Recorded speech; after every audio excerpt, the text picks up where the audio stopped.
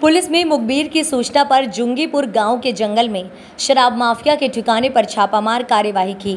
थाना प्रभारी शिव सिंह यादव ने बताया कि आने वाले विधानसभा चुनाव को लेकर वरिष्ठ अधिकारियों के निर्देश पर अवैध रूप से शराब बनाने वाली आरोपियों की धरपकड़ एवं उनके ठिकानों पर छापामार कार्यवाही की जा रही है।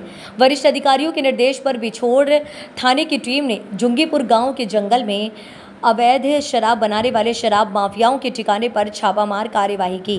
पुलिस को आधा देख आरोपी मौके से फरार हो गए। मौके पर लगभग 2000 लीटर लहन एवं शराब बनाने वाले यंत्रों को पुलिस ने मौके पर ही नष्ट किया था। थाना प्रभारी द्वारा बताया गया कि पिछोड़ थाना क्षेत्र में अवैध रूप से शराब बनाने वालों एवं शराब बेचने वालों पर निरंतर कार्यवाही की जा रही है। सर ये जुंगीपुर गाँव के जंगल में पुलिस ने छापामार कार्रवाई की जहाँ शराब के ठिकानों पर छापा मारा है। क्या है पूरा मामला?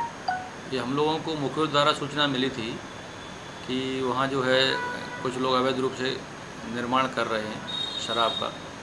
तो हमारे वरिष्ठ अधिकारियों द्वारा भी जो निर्देश प्राप्त, निर्देश दिए गए हैं कि जो है अधिक से अधिक कार्रवाई करना है। आगामी विधानसभा चुनाव भी है।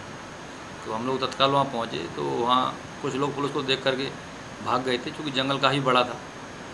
उनका भी प्रयास किया, पीछा करने का, लेकिन नहीं मिल पाया। उसके बाद जब वहाँ जो मौके पर लाहन पाया गया करीबन नौ ड्रम बड़े बड़े ड्रम, करीबन 2000 लीटर लहान था। उसको वहाँ मौके पर नष्ट किया गया।